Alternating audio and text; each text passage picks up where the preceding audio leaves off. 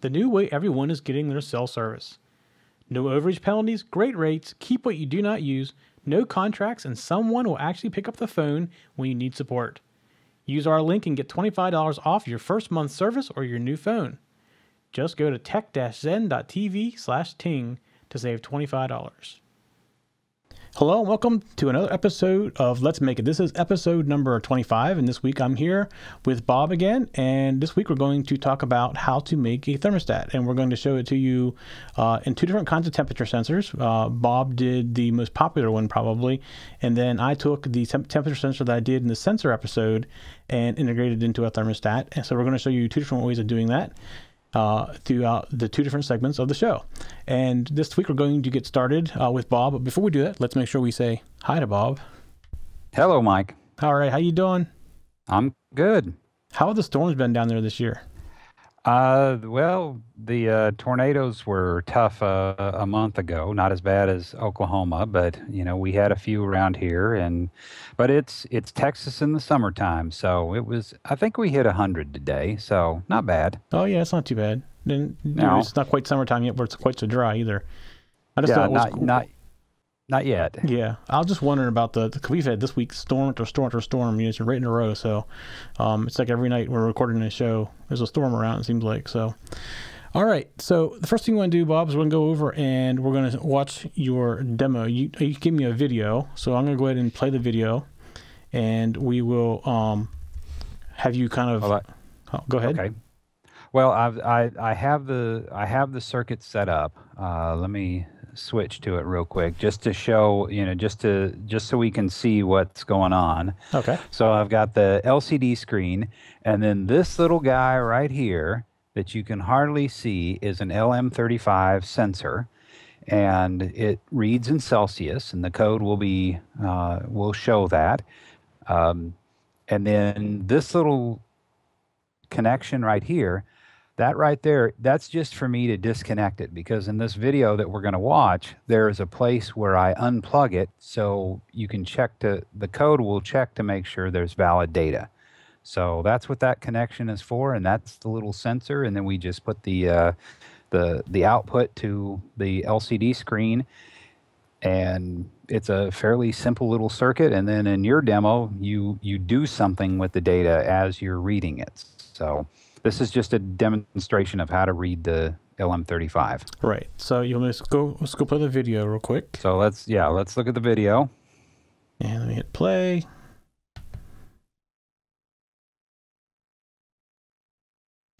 So here we have a little welcome, two little welcome screens. Pretty self-explanatory. And now here it's reading the data. It's a, it's reading off one of the analog pins. And now I have a little piece of ice that I'm going to put on the, the circuit. And I have to do this quick because I don't want to have it melt and get, uh, get water in my breadboard. But as it cools down, it tells you that it's cold and it's time to turn on the heat. Then And then it and then up. it's back back into normal temperature range. And then here I'm just using my fingers to to heat it up a little bit, just to show that it you know that it is reading. And then when it gets warm, it says that it's hot and it's time to time to turn the AC on. And then the last piece is where I disconnect the circuit and it warns you. And that blinking is, that's on purpose. And then we're back to normal. And I found it to be, uh, you know, I used the setup right out of the Arduino playground and uh, found it to be accurate and correct and uh, actually really easy to use. All right. So yeah, that was all available right off the playground. So nothing really special. And I think Nothing want, real special. we want to note kind of in here that this is using just an analog pin. There's no special data calculation as you know as far as sending digital data. It's basically reading off an analog pin. Yeah, it's just reading the analog pin, and there's a one little calculation to turn it from the analog reading into a Celsius measurement, and then of course I do a standard uh, Celsius to Fahrenheit mathematical conversion, Right. and there is an LM34 uh, sensor that does the same thing, only it actually will read the data to you in um, in Fahrenheit. Right. So the one you use to actually reads it to you in Celsius, and you have to convert it to, for Fahrenheit. That's right. All right. So let's go walk through the code. And let's see, we'll scroll down a little bit here. And this, uh, what does this uh, chip cost? About two dollars, something like that. Um, something like that. Yeah. Yeah, It- a lot less than what my digital one to no- yeah, next to nothing. Right. All right. So at the very top here, you're only including two libraries, so it shows you don't need anything special. Just That's the right. liquid crystal and the wire.h, which both control the liquid crystal display. Yeah, and and this uh, this the liquid crystal library is the same one that we used. That well, it's it's funny. You and I um, both worked on the SainSmart LCD screen, and episode five, you made some changes to the code, and interestingly, I made basically the same changes, um, but I did add one additional function into that library. So where I keep all the code on GitHub has my slightly modified library, um, but it's basically your code plus one function. All right. Uh, because both of us had the same problem um, with the uh, uh, with the SainSmart code, it just didn't work. So we had to modify the library. All right. And we come down and you're setting columns and rows here. That's right. And you're using them right here to set the crystal to display. Uh, one of the things about the Sain Smart, I think their documentation doesn't say it's 3F, but it is 3F. Uh, if I remember correctly. And then you set your temperature pin. So you're using analog one as your input for your temperature pin. Right. And I could have used any of the analog pins, and I just that's where that's just the one I picked. Right. No And if you're using if you're using an Uno, you couldn't you couldn't have used four and five. Is that correct? Uh, you can, but you have to move um, the. You, uh, I'm using the standard uh, Library uh, for two standard library for um, for the wire. For the for the wire. So you could have reassigned those pins, but I didn't see any reason to, Right. so I didn't. Right. All right. So we're going down through setup and we just do the LCD and it. You reset it, turn the light on so we can read it. and then That's right. and then we do the initial demo screen, which is the welcome and uh, the GitHub information. That that's right. Then you do the LCD clear, and then we come to a funny one. So this is one you need to explain because it's something that um, you wouldn't have to do, but it makes things better, right? Well, this is a little piece that I found on the uh, on the playground, and they said that if if you change the internal reference of the analog pin within the Arduino, you could get a much more precise measurement off of it. So I made this one little change, and and it was, and that's exactly what I saw a much more precise, uh, a much more precise reading off the off the sensor. Now, the, the cost of that was uh, I did lose a little um, uh, range. But since we're, you know, since this demonstration is based off of a, uh, you know, for a, for a heater, you know, a hair- heater, air conditioning unit, a thermostat replacement kind of project, that was actually a good thing. So uh, the reference goes from zero to 110 degrees. Okay. And if it's that cold or warm in your house, you have other problems. You have some you have some other problems. That's right. All right. All right. And then we come down into the actual loop function. And uh, you define some variables. I assume loop delay is your delay that you're waiting in the loop. It makes sense, Yeah. right? As this runs, it's just it's checking the the sensor once it once every second. All right. And then you define the reading variable and two temperature variables. One, it looks like a, it would be Celsius and one in Fahrenheit. And uh, I do That's want to note that you have them floats, not ints, because they Yeah, have decimal you- places in them. That's right. If you change it to uh, the integer, then you just get uh, whole numbers and you lose the decimal place, which um, kind of defeated the purpose of going to a more precise measurement. Right. All right. Then here comes the actual work we're going to do, right?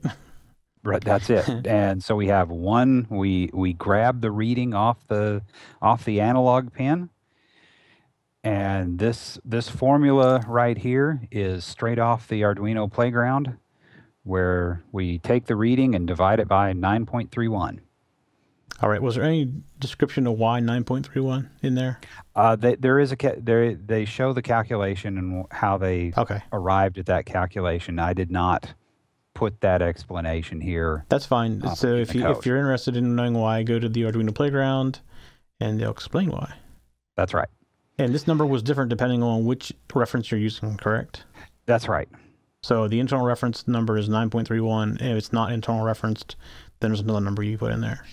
Yeah, yeah. If you if you don't use this, um, if I remember right, it was five volts times the reading times 100, and whatever the product of that that multiplication is, you divide it by 1024, and that gives you the temperature in sensor uh, in Celsius. Okay. If you so you could use this sensor with 3.3 volts, and then you could simply change the formula and get a accurate reading again. All right. And then you convert the Celsius to Fahrenheit. And this is a Yeah. very commonly known calculation. Standard, yeah, standard calculation. And there's a couple ways people have done this. So um, I've seen 9 divided by 5 times temp in, temp in times 9 divided by 5, like you did it. Uh, then you got to add 32. It all it all comes out the same. That's Right. right. All right, and then we come down and we have some debugging code in here, and then we go. Yeah.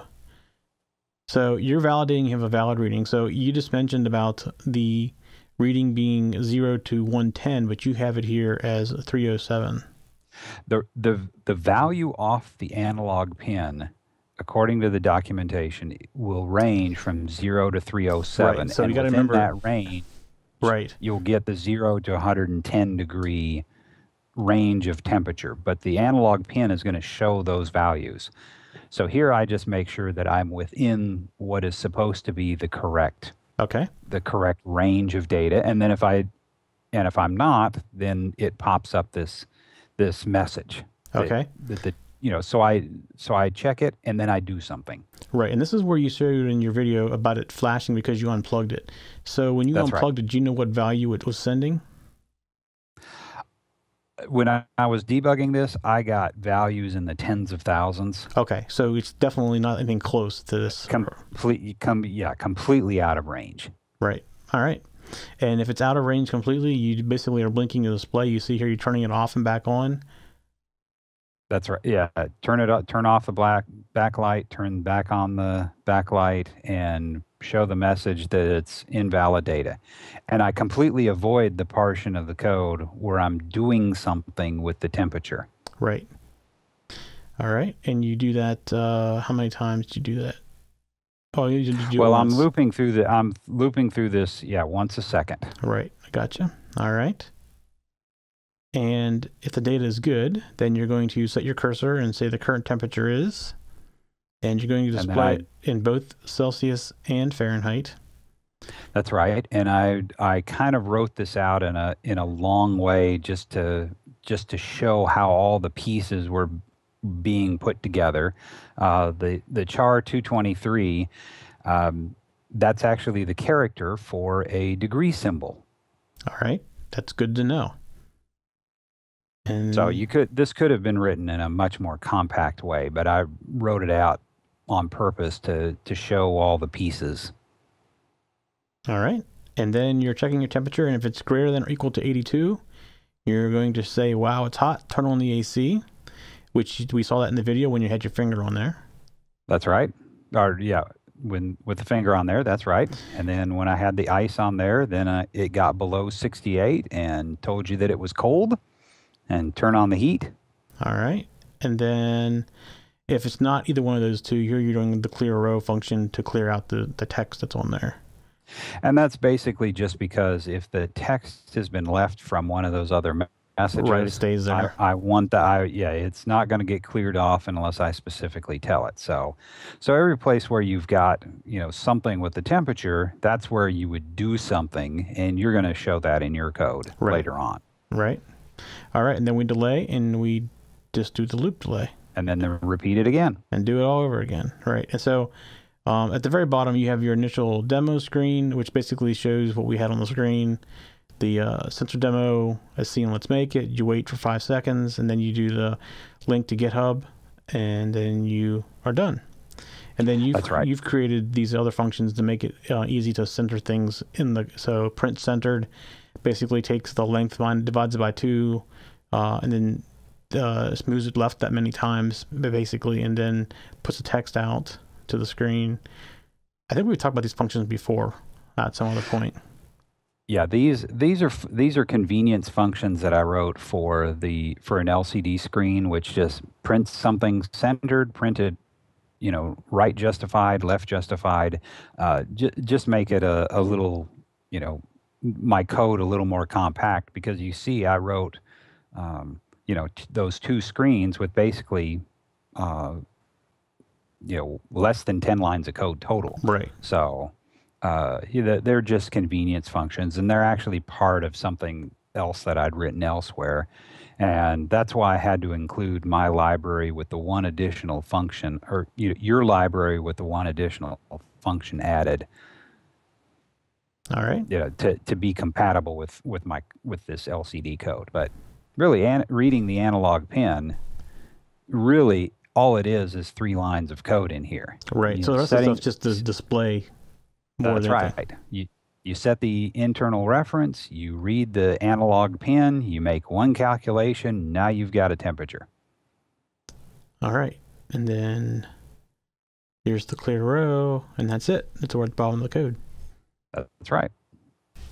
All right. So uh, before we jump into the next uh, segment, we want to remind you that uh, we are moving our YouTube uh, channel to one big channel for the whole TechZen TV network. So if you've been watching us on YouTube, uh, I've been telling you, I'm going to keep reminding you of this for the next couple of weeks yet still, that we are uh, moving all the videos, so they only will be on the new YouTube channel in the next couple of weeks. So if you've been watching us on the uh, Let's Make It channel, you need to go to youtube.com slash TechZen TV and subscribe over there because we'll start putting these shows over there only in the next couple of weeks. So you don't want to get lost. Make sure you go do that uh, right now. Just a real quick reminder that I wanted to bring up. Now, we also had um, a viewer question this week that uh, Bob has worked up a little uh, presentation to explain what it is. So we basically had somebody want to know what forward voltage is, and you hear us talk about that. And so Bob's going to go through and he's going to uh, show us uh, and explain to us what forward voltage is. So let me go ahead and um, get this up here. And we'll let Bob uh, go ahead. So forward voltage is what we're talking about. So this is forward voltage, and this is a question from viewer named Matt. So thank you, Matt, for bringing this up. Um, the the def the, the basic definition of forward voltage is that it is the minimum voltage that you need to light an LED. And so if you've got an LED that, and we're going to use this in an example in a couple eh, here in just a moment, where the LED is a 3 volt forward voltage uh, device. Well, if you supply that LED with 2 volts, you're not going to have any light. You have to get past the 3 volts. Uh, the other nice thing about it, which is actually very convenient, is that LEDs, the voltage uh, does not change with temperature. So the fo- forward voltage is very con- constant across a temperature range, which makes uh, uh using LEDs very easy. So so why is forward voltage important? And this will will actually get to the problem that we were talking about last week. Um, we need the forward voltage to make sure that we give the um, the LED the correct amount of current because in an any LED you've got to have a resistor, otherwise you blow out and burn out your LEDs. And as much as I like the smell of burnt electronics, it is something that I try not to do. Um, but we need to know the forward voltage, what the maximum current of the LED is, and of course we need the supply voltage. So here we have one little LED, and this we're going to see this LED here in just a second. Uh, it's a it's one that I have sitting around, and it's spec'd at three volts and 20 milliamps. And we're going to just use Ohm's law to calculate the correct resistor. And the calculation is fairly straightforward and uh, it's, it's right there. So in this case, we need a 100 ohm resistor to make sure that we stay at 20 milliamps. Um, and as long as we use something 100 or greater, then we don't have to worry about burning out our LED because if the resistance is greater, then the current is lower. Okay, before we go to the next page, can we talk a little bit about Ohm's law? Because um, I just want to make sure that people that are watching the show that aren't necessarily into electronics but more into making things like you know Arduino type projects understand a little about Ohm's law. Um, I don't want to go into great detail, but it's basically the combination of three things that always equal each other. Yes, the the whatever the current is times whatever the resistance is is going to give you the voltage. And and in this case, we've rearranged the formula so we want to calculate the resistance. So we're going to take whatever the supply voltage is and we're going to subtract whatever the forward voltage is. And then we're going to divide that by the current and in this case, it's the spec maximum current. And, and of course, we have to. Th- these calculations are all done. We can't use. We can't just put in 20 and have it work. It's got to be. Um, it's got to be in amps, not in milliamps. And that gives you that calculation will give you the the 100 ohms. So yeah, Ohm's law. It's uh, if you're if you're doing anything in electronics, then Ohm's law you're going to run into it all the time. You just you it's it's the most basic uh, function uh, in electric in right. electricity. And if you don't know what it is, you probably should go out and look it up because it's definitely an important thing to know. That's right. You've you've got you've got to know it. All right, so we'll go on here now. So here I just I made a small little circuit, um, and since we talk about Arduino's here, I I I'm going to use an Arduino and really all I'm doing is nothing more than using it to supply current to an LED. But I wanted to, you know, I did want to put out, you know, show the schematic and the what it looks like on the breadboard. All right.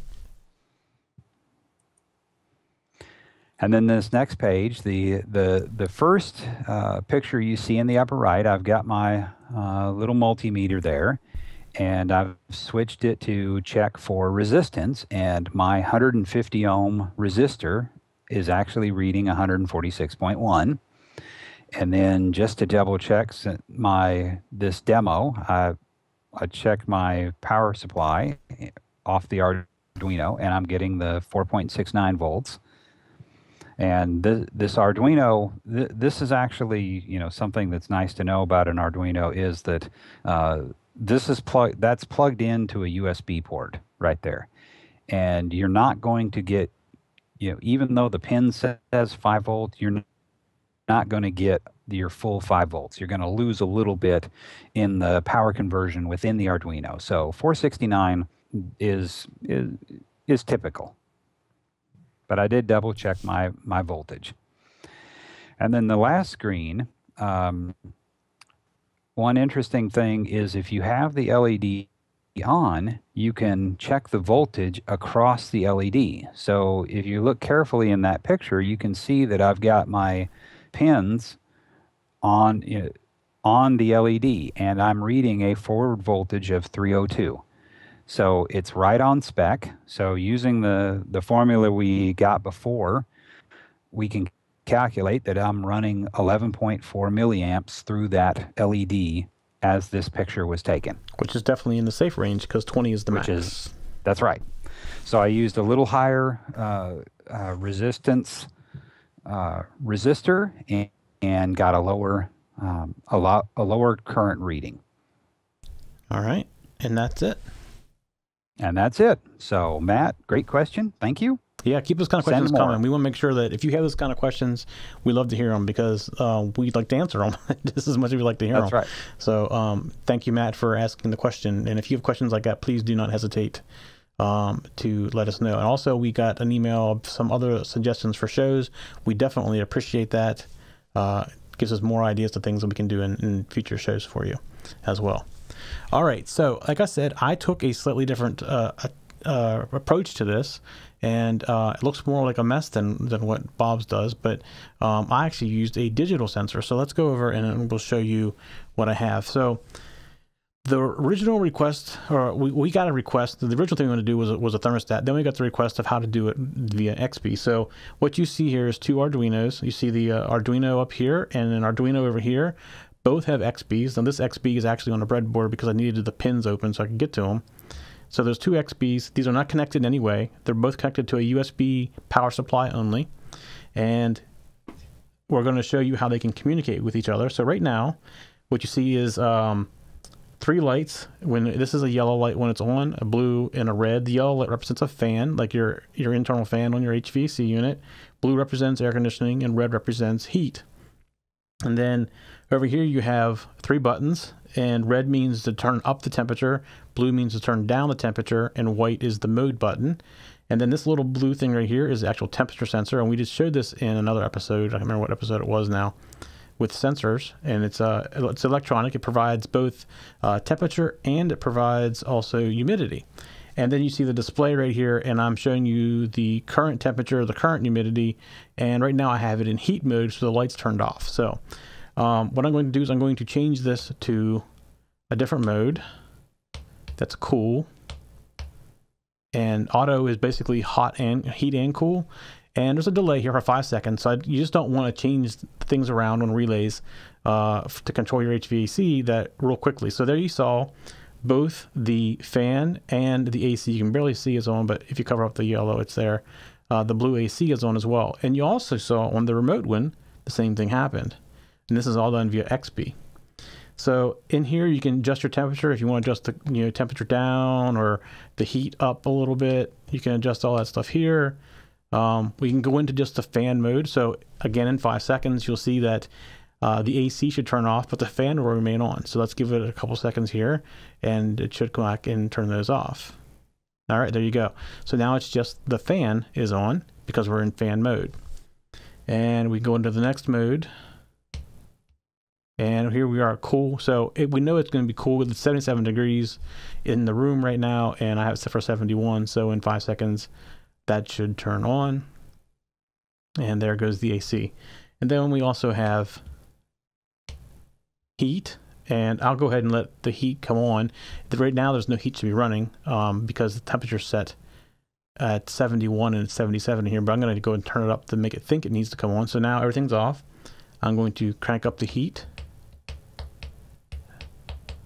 to 79. No, I went to 80, sorry. Oh, it's one too far. That's okay. It'll still turn on the heat.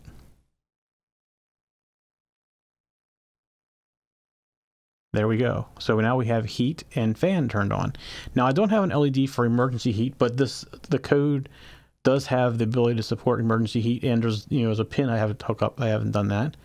And we're going to go to the next mode, which is options. So the only option I have really set in here is I can do both Celsius and Fahrenheit. Right now you see it's in Fahrenheit. So when it's in options mode, these two buttons change the mode. So I'm going to now put it into Celsius mode. So it's 25 degrees in here, 26 degrees in here Celsius.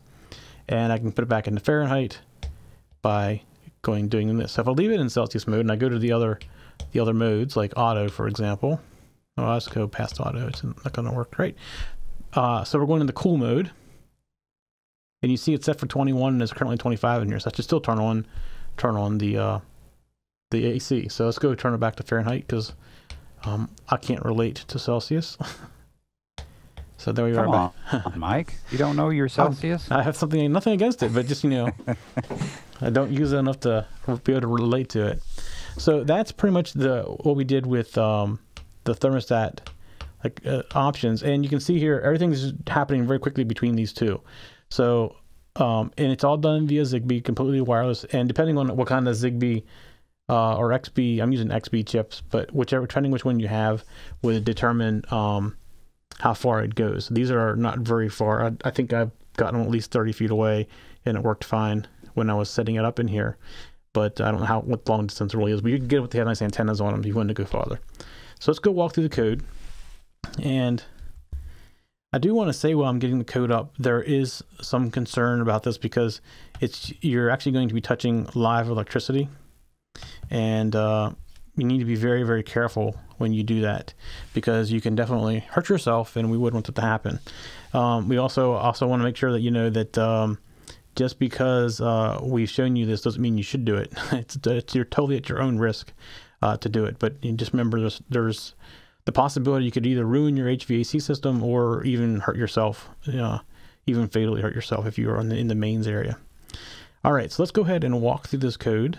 And I put a couple notes in here, and I've, my brother-in-law is an HVAC guy, and he basically recommended I do not put the color of the wires in here because everybody has different colors of wires. So I'm going to walk through this a little bit. But um, I have noted in here the the wires and what they do. And what I'm probably going to do is, well, red's always the same thing, green's always the same thing.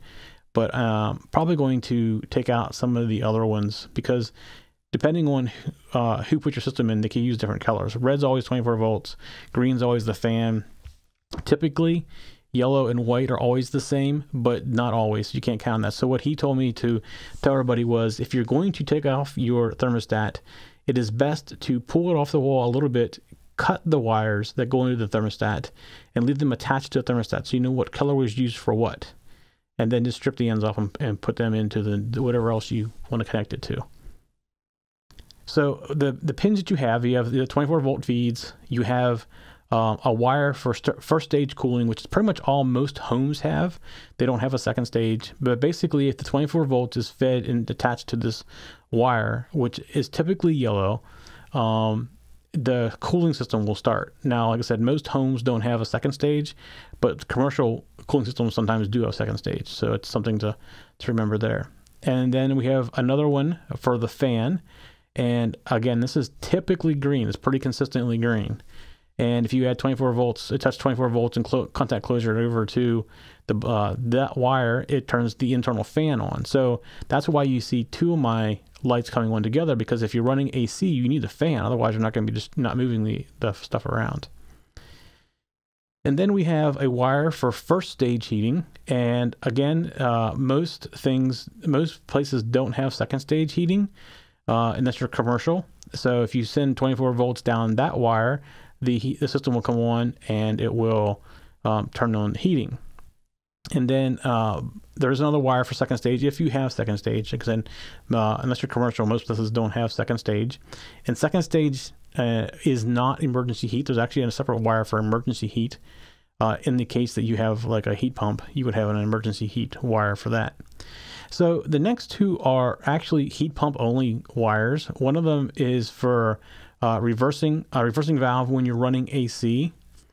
And basically, if you are running a heat pump, you need to tell the outside unit which direction the freon should be flowing, and these reversing valves do that. Now, there's some sometimes you have a um, a wire for reversing valve for both cooling and for heating, but more often than not these days you only have one for cooling. So it assumes you're heating unless you energize that wire for cooling and then it reverses the valve. Um, some systems still do have two wires but uh, not many.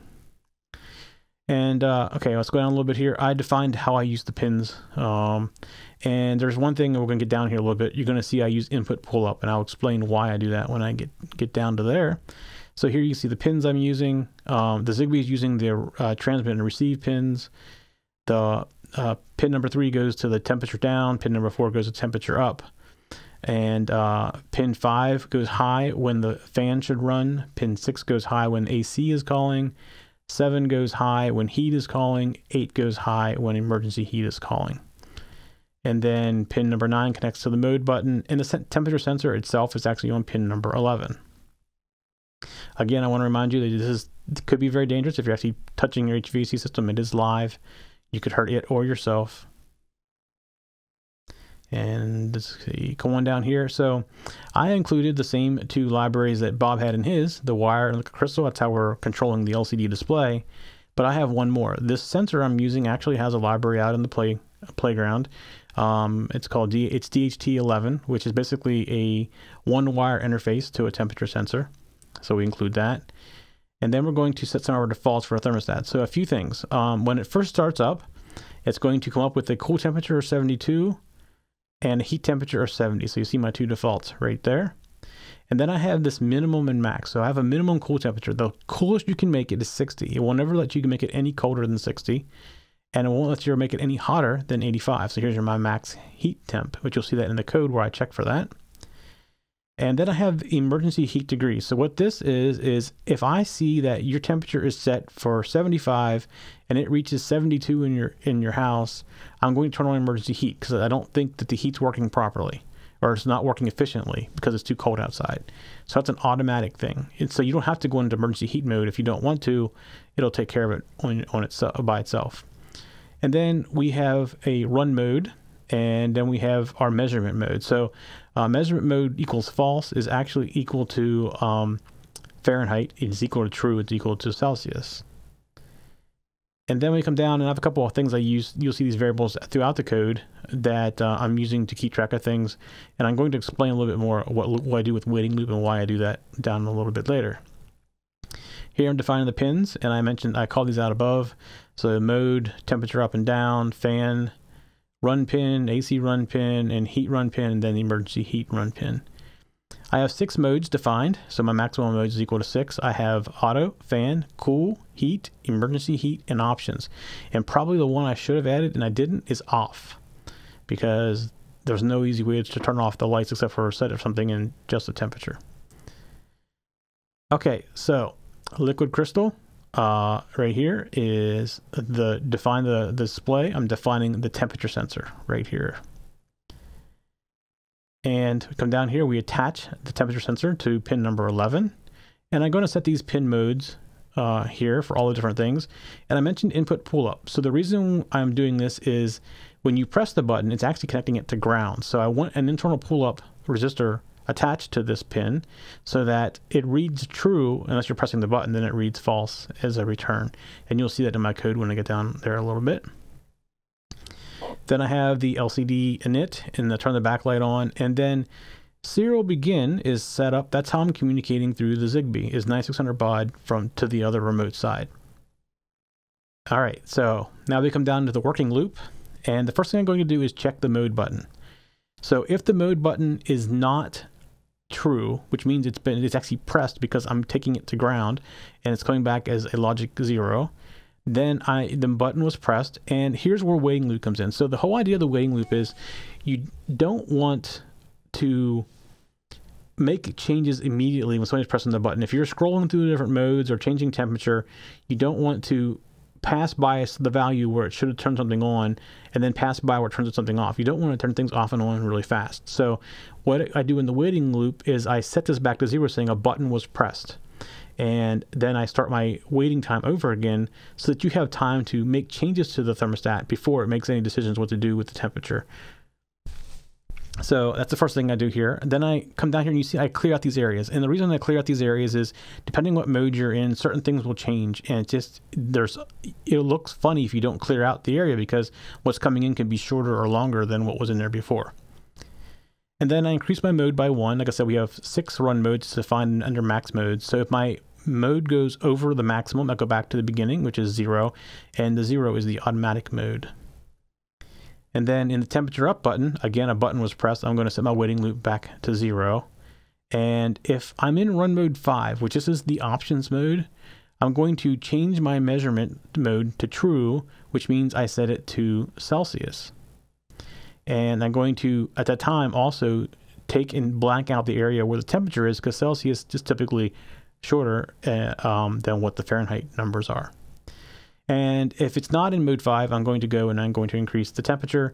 And the reason I'm calling a function you'll see later is I'm setting the I'm increasing the temperature for the mode that I'm in. So rather than putting all the logic here saying what mode am I, I am I in, I just do it one place later on. And then we do the temperature down button, which basically does the exact opposite of the temperature up button. Um, if it's not run mode 5, we decrease the temperature. And again, we call another routine to determine what mode you're in and what gets changed. And if you are in run mode 5, then we're going to set it back to Fahrenheit and clear out the area again.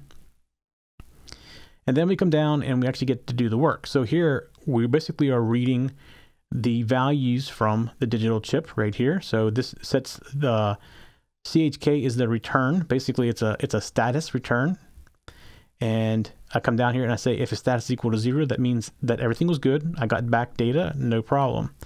So if I'm okay and everything's good, I'm going to set the cursor, uh, print out the word temperature, and depending on what measurement mode is set, I'm going either going to display uh, the temperature, and you see this is actually a structure, so it's you know actually like a um, a library function or a library value, and so I'm going to display the temperature and put the little c after it. And if it's not in uh, Celsius mode, I'm going to call a function called Fahrenheit, which takes this temperature value in Celsius and converts it to Fahrenheit for us. So there's no calculations needed um, to generate the Fahrenheit. I'm storing the current temperature because I use this later as uh, as Fahrenheit. So everything I do internal to this is done in Fahrenheit, not Celsius. So that's something else to kind of remember as well. So I set the cursor. I am going to display humidity, and I am going to do uh, the DHT11.humidity, which is a value set in the class, and a percent sign. I'm going to set the cursor, say what mode I'm in, and here I'm doing is printing out the modes uh, array that we saw above. And then there's a function called current settings. I'm going to walk through that. This was just an easy way of doing uh, a little, little bit cleaner way of handling that. Now, like I said, a zero means that there was no error, but it does send back error codes. So if you're having problems with this chip, you can uncomment this area, and this will actually print on the screen what error code the chip is sending you. Uh, typical ones are timeout uh, and checksum errors. All right, so here we're going to display the waiting loop. So the whole idea of the waiting loop is to wait five seconds. So you'll see right here, I delay 200 milliseconds for every time I check the button read. So what I'm doing is I'm waiting for 25 cycles, which is basically five seconds uh, to take action. So take the take action we're going to walk through here shortly as well is where it goes and looks and says, what do I need to be doing right now based on what the settings are. But I don't want to do this um, if the button was recently pressed. So that's why we keep saying waiting loop back to zero. And then I delay my 200 milliseconds, which is five times a second, and uh, go back into loop and do this all again. Now, one of the things you may have noticed is sometimes the button's a little sluggish. You could make this a little bit faster, it's a little bit faster. Uh, it seemed fine for what I was doing, but uh, maybe a little bit faster would be a little bit more responsive. Just remember if that if you do that, you want to like change this waiting loop count right here so that it still waits the five seconds. All right, so here's current settings. What this basically is going to do is return, based on the mode, what the current settings are uh, on the thermostat. So I'm defining some variables right here. And depending on the measurement mode, I'm going to uh, set a variable that's going to be displayed. So if it's equal to Celsius, I take uh, the cooling and the heating temperature both, and I do the calculation. This is what Bob did this 5 divided by 9 calculation. This is another way of doing it as well. Um, and then you can, uh, if, if, it's not and it's Fahrenheit, I'm going to come down and store that. Like I said, I store everything in Fahrenheit in the in the program. And then I come down to run mode. And if I'm in run mode auto, I'm going to print out um, at sign and then the cool temperature, a slash, and the warm temperature. If I'm in the fan mode, I'm not printing anything out. I'm just saying fan. And so I just send out, I said, I return basically um, uh, blank. And then if I uh, am in cool mode, I'm just going to display U1 temperature. So it's going to be the at sign and the temperature setting. And if I'm in heat mode, I'm going to show you the heat, heat temperature as well as heat temperature whenever I'm in emergency mode. And in, in the options mode, there's nothing there either. So there's send back blank. So basically what I'm doing is you saw this defined in the very beginning. I'm writing these variable, this variable to this temperature temporary variable, and then I'm returning it back to the calling program above. So this does all the work. All right, so let's look at increased set temperature. And you'll see why here in a second, why I broke this out, because all this logic on the top would have been very difficult uh, to follow. So when you call increase set temperature, I look at what mode you're in. So if you're in mode zero, which is the automatic mode, increasing is going to increase the heat temperature. So I increase the heat temperature by one degree for each uh, button press. And if the heat temperature goes over the max heat type, I set it to the value of the maximum heat, heat temperature because you can't go above the max. If you're in mode uh, 2, which you notice I skipped to mode 1 because there is no temperature setting in the fan mode. If you're in mode 2, you're in the cool, so I'm going to increase the cool temperature by 1 degree, and I'm going to compare that to the maximum heat temperature. I'm going to use that same uh, maximum heat number to make the maximum for the cooling as well. And if it's greater, then I set it to the maximum right there. And then we come down to mode three and it's heat temp. It's a record in regular heat. So I uh, increase the heat temperature and again I check and see if it's over the maximum heat temperature. And I do the same thing for emergency heat. It can't go over the maximum heat as well. And you notice there's no mode 5 because there's no options uh, needed for that. And the decrease the temperature does the exact opposite. So you see here in uh, in automatic mode, uh, it's uh, a degree down, takes the temperature for cool down one degree, and we check that here. And then mode 2 decreases the cool temperature by one degree. And if you're in mode 3 or 4, you decrease the heat temperature by one degree. And you see here, I'm looking at the minimum cool temperature. That's our range. We can't go below that. All right, so here is what I consider the probably pretty much the workhorse of this program. So you saw me call this take action routine. And what this does is it determines what to do based on the current mode and the current temperature. So if we're in automatic mode and the current temperature is less than the heat temperature, then I'm going to basically do, some, do something with heat. But first thing I want to do before I do that is I want to try to compare the current temperature to the heat temperature setting minus the, in my case, three degrees set at the top. And if that is the case, I'm going to call a routine called turn on. So turn on turns on four things. It turns on either fan, AC, heat, or emergency heat. So in the case that is three degrees colder than what my current heat temperature is set to, I'm going to turn emergency heat on. So I turn the fan on. I don't turn the AC on or the heat on, then I turn the emergency heat on. So you see fan and emergency heat are turned on. If it's within that three degrees, so we're still in that in that okay area, I'm going to turn on heat, uh, fan and heat, just regular heat. So you see a true, false, true, false. And then if that's not the case, so it's not it's not time for heat, not time for heat. So we're going to come down here and we're going to see is the current temperature greater than what we have the the AC set to. So if it's greater than the cool temperature, I'm going to turn on the fan and the AC. And if none of these conditions are true, which means we are in the good range, we don't need to be cold or heated, I'm turning everything off. So fan off, fan off, fan off, and fan off. If I'm in fan mode, there's only one thing I got to do. There's no thinking about it. I just turn this fan on. Everything else goes to false because I'm in fan only mode.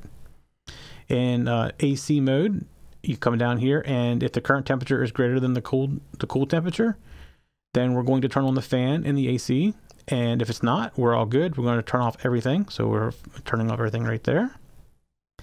Then we come down to heat, and again, we're going to check the heat temperature. If it's colder than what the thermostat set to for heat, then we're going to do some work. So we, before we do that, we determine is it three degrees colder or whatever the emergency heat degree is set to, um, than the current temp is in the current setting. And if it is, we're again we're going to go into emergency heat. So we have fan and emergency heat. And if it's not, we're just going to do regular heat. And So we have fan and regular heat. And if we're warmer or as warm as we're supposed to be, we turn everything off. So we do false across the board. And when you get to emergency heat, there's no comparing anything. Basically, if it's colder than what it's set to, we turn on emergency heat and fan. Otherwise, we turn it all off. And then the default is to turn everything off right here. If, if something would happen in your program that it was not one of the right modes, this would basically say, I don't what to do. I'm turning everything off. So that's the workhorse. So the next thing we want to do is we want to look at the uh, the turn on. And basically, I'm passing in integer, uh, yeah, they're integers. They could have been booleans too. I probably could make it a little bit less memory usage if I would have done that. But you see, I'm passing in fan, AC, heat, and emergency heat. And you see, um, I'm adding this, I have this variable called run total. Now, the one thing I need to explain is in this program, in this routine, we're actually sending out the data for the remote as well. So before I walk through this, let's explain that protocol just a little bit. It's a very simple protocol. Uh, the format is basically this. There is a, a, preamble of two X's, and then there's either ones or zeros for the next four characters, which determine if the fan, AC, heat, or emergency heat are on or off. Then there's a, a, a Y, which is the um, the stop, and then there's a checksum, and then there's a Z for a terminator. So you should always get something that's XX and then either zero or ones, a Y, another number, and then the Z. This other number is a checksum, and the way it's done is each of these positions has a value. So the first position is equal to one, the second position is equal to two, the third one's equal to three, and the fourth one's equal to four. I know not very original, but this works real easily. And whichever ones are turned on, you add them together. So if the fan and AC is on, you're adding one and two so that this checksum will be equal to three. So when I receive this on the receiving side, which we're going to walk through after this program, I compare that to make sure that I'm getting everything in the right format so that I'm not turning something on that shouldn't be turned on because I got garbage. Just another way of checking to make sure that it was it was received properly. So as we walk through this, you see the first thing I do is I send out a preamble. And I check and I see is fan supposed to be on. So if it's supposed to be on, I go ahead and turn the fan pin on. So there I set the fan pin equal to true. And I'm going to send out a 1 because the fan should be turned on. And my run total is equal now equal to 1, which is the, this is the checksum. So the checksum is currently equal to 1. And in the case where the fan isn't supposed to be running, it comes down here and it says the pin is off, and I send out a zero because zero means fan, that this function is not running or not on, not on.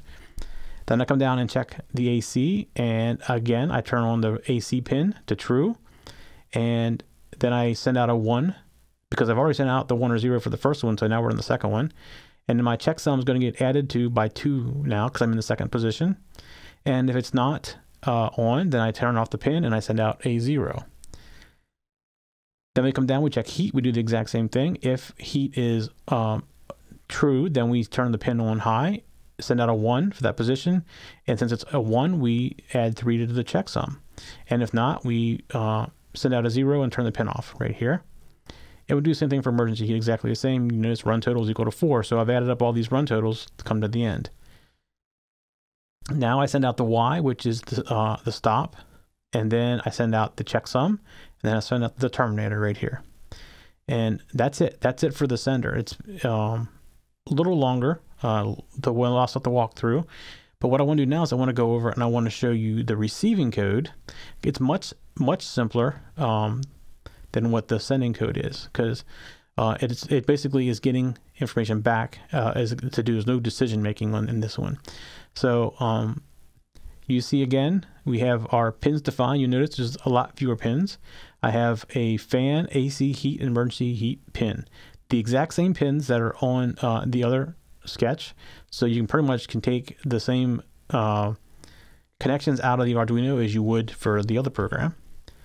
And here you notice we have a state. So instead of a mode, this one has a state. And we've talked about state machines before, which is kind of what the mode is uh, in the other program. But here we're gonna actually going to call it a state machine. And I can't remember what episode I talked about that in. So we have uh, basically uh, five states, and this is all based around the, the protocol. We have a begin, we have a start, we have values, we have a checksum, we have end transmission. Uh, basically, the begin is when I'm looking for the x's to come across for the preamble. After I see an x, um, I'm going to go to the start, and I should see another x. So that's how the preamble working. And then after I see the second x, I'm assuming what's coming next is values that I need. So I keep reading values until I get to that y. When I see that y, I go into checksum mode. So I'm waiting for my number for a checksum. And then when I see the Z, I know I'm at the end. So these are the, the, the states, and you're going to see how I walk through the states to validate where I am through all this. And then here I have some things that I'm uh, using throughout the program. You'll see. And uh, setup's much simpler. Basically, it's four pins set up all to output and serial begin 9600 because I'm receiving my commands via serial port from the XBee. All right, so here we come down and we loop. And if you've seen some of the other things I've done with serial uses, very similar. I define a input character and I check if data is on the serial port. And if it is, I go ahead and I read it and I stick it into this CH variable. And here comes the state machine. So if we're in the begin state, what all, all I'm doing right here is looking for an X. So I'm going to keep reading serial data until I see a capital X. When I see the capital X, I'm going to say, okay, I'm starting. So I'm going to set my current state to start and drop out of this uh, case statement. And next time around, it's going to come back in, read another character, and it's going to come down to start. If it's another X, then I'm assuming, okay, we're probably getting ready to go get real data because I've gotten two X's in a row, which is what I'm looking for.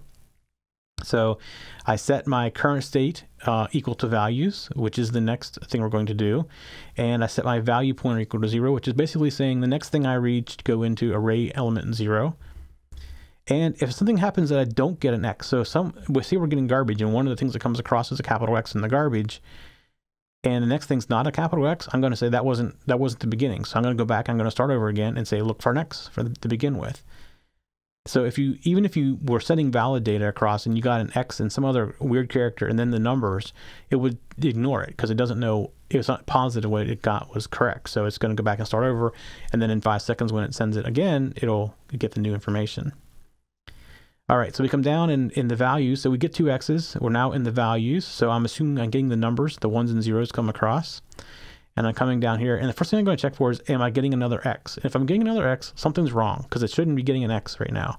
So I'm going to go back and do, do begin. If I get a Z, which is end transmission, uh, something's wrong there too because I shouldn't be getting that. And so I'm going to go back and I'm going to start over. And if I get a Y, I assume that I've gotten all the numbers and I'm going to go into checksum state. So if none of these conditions are true, so we're still probably getting numbers, I'm coming down here and I'm checking, is it really a number? So is it between 0 and 9? And it really should be between 0 and 1 because I'm only really sending over 0 and 1. So I could tighten this down a little bit and just make that 1, make it a little bit cleaner probably. Uh, but I'm not going to change it right now. So if it is, I'm going to go ahead and save to the values array, to the value pointer, the character, which is either a 0 or 1, increase the value pointer if um, the value pointer goes greater than four, I'm going to start over again because I shouldn't get that many numbers. I know I only have four numbers coming to me. If I get five, something else is wrong. So again, I'm going to start over. It's just another condition that says um, we need something's wrong. We need something. You need to start over. So after we do this and we go through this loop and get all four of these, we're going to get this y at the end. So it should be xx four numbers and then then a y. So when I get that y, I'm going to go into checksum mode. So I'll come down here to checksum. And there's basically two things. I'm either going to get a Z or a number. I should get a number first. So hopefully I get a number first. I'm saying the checksum equal to that. And then I get a Z saying it's the end of transmission. And when I get the end of transmission, I basically know I'm at the end. So I go into the end of trans state and I come down. And the next time through, um, basically there's a carriage turn line feed that follows this. So there will be another character that I've just read in. And it comes down here and it says is checksum equal to calc checksum? And I'll show you that routine in a second. And if it is, it's assuming that everything it came across was valid. So at that point, I'm basically calling the same turn on uh, routine that we have in the other one with just a few things taken out of it. And I'll show you that in a second as well. But I'm sending it the values that were passed over. So all I'm doing is saying if the value I got was equal to 1, then send true over. Otherwise, send it to false um, to the to the turn on value. And then I start over again, set my state back to begin, and I'm back waiting for another x. So let's go down and look at calc checksum. And as I showed you in the other well, one, Mike, I've, uh, Mike, I've got a question for you before sure. you get too far, because while I'm while I've been listening to this, I've been thinking about well, what happens if you get noise? And because you're doing this, these are ASCII characters you're sending, correct? Yes. That are being transmitted. Yep. So to get an X, in just random noise, you'd have to get, you know, ASCII characters. There's 128. No, yes. Yeah, be no. It's this should be 100, 128 characters in the basic ASCII set. Right. So you'd have to. So you have a one in 128 chance of getting a random X, and then the next character, another one in 128 random chance of getting a capital X. Right. Correct? Yes. Which and would be 16,000, whatever that, what, whatever 128 Right. And then it goes farther. Then checking if, if I'm getting something other than a letter as well, or a number on the next four. So all of this is making sure that you never get uh, random noise data being transmitted and received uh, in the wrong order because the odds of getting random noise in the right in the right sequence is is virtually well you're more you're probably more likely to win the lottery than yes than yeah. to get this right. Okay, well I just wanted to make sure that uh, that I was understanding, and that's good because you've got all these checks. You're checking each character. You've got to checksum, because the last thing you want to do when you're receiving the data at at the other end is to end up with wrong incorrect data and turn on and off Right, exactly. You, you, don't want your heater turning on for no reason at all because your neighbor turned on the microwave for, you know, whatever. That's right. All right, so let's look at calc checksum. So on the other side, you saw me adding a value of 1, 2, 3, and 4. Uh, I'm doing the same thing here, the exception of I'm doing it in a loop. So you see I'm going 0 to 4, and I'm checking if it's equal to 1. And if it's equal to 1, I'm basically adding to the value um, this loop value right here. So that's how I get the total. And then um, I return uh, 48 plus. This is how I'm getting it into the ASCII range right there. And then we have our turn on routine, and this is basically a copy of the other side, minus the fact that this side doesn't have the protocol information going out. So all I'm doing right here is if fan is on, I'm turning the pin true or false, depending on what the value of the in, the integer is. Uh, same thing with AC, heat, and emergency heat, and that's it. This is that's all there is for the remote side. Now, there is um, something that I wanted to go back to um, the actual Arduino. So originally I was going to do this with relays, and I don't have relays to fit my breadboard, so I ended up using LEDs. But you'll see in here that uh, we actually have transistors, and the reason we do this is um, the Arduino can't drive that many relays. There's not enough power for it, so we're using the um, transistors to get around that. Now I think I actually have uh, a drawing for it. Do I still have it here somewhere? And we'll show you how we actually put that in there. That's something I probably should have mentioned before is you don't want to go directly to the relays. Let's see if I can get it up here quick. I guess it depends on how quick quick is.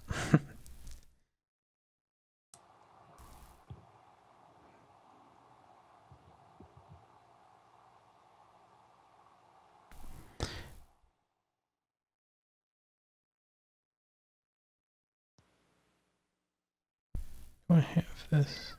Yes.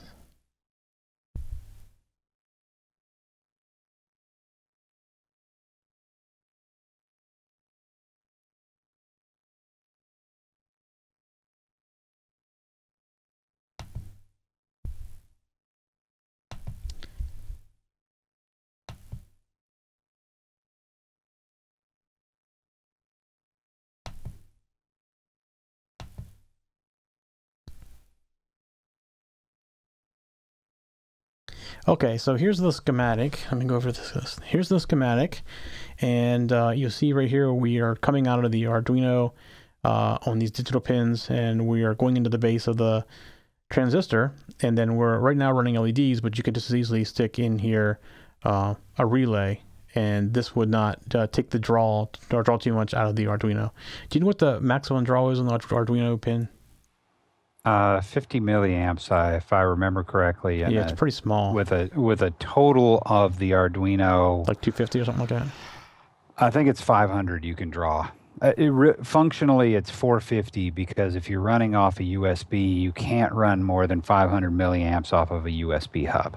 So right. you're really, you know, to include some co- or some current for the Arduino itself, you're looking at pins with 450 total. Right. So yeah, basically would. Um, replace these LEDs with relays in the case you want to do that. And that was my original intention. I just didn't have uh, relays that would fit. It seemed like my relays are all um, the way they are laid out with the pins. You either you're crossing crossing sides or something with them, and this doesn't work right. So I just didn't have a chance to to get it to work. All right, that's it for that. that's good. That's good code. And whether you you know my example was just reading data off the analog pin. The you could read off a digital pin, analog pin. Uh, the rest of the control for a HVAC system system is the same. Of course, you you've got you've got to be careful. You got to know what you're doing before you right. implement any of anything that we've demonstrated tonight. Yep, be very careful, especially when you're if you're working actually in the HVAC unit itself, because there's some high voltages in there, very high voltages. All right, so uh, I want to remind you again that our YouTube channel is moving to youtube.com slash techzentv. If you're watching Let's Make It, go there now. I mean, we're at the end of the show now. You go ahead and go. Go there now and hit subscribe, uh, and so we don't don't lose uh, when, when our new shows come out. If you're uh, watching us from somewhere like uh, iTunes or any of the other podcast directories, they all have these rating systems in them where you can go in and leave a little comment and give a rating definitely would appreciate if you go out there and, and give us, you know, a, a, nice rating and a comment that helps us get fi- found in all these. I mean, we're, we're getting more and more viewers all the time, and we're getting more and more questions, and we love that.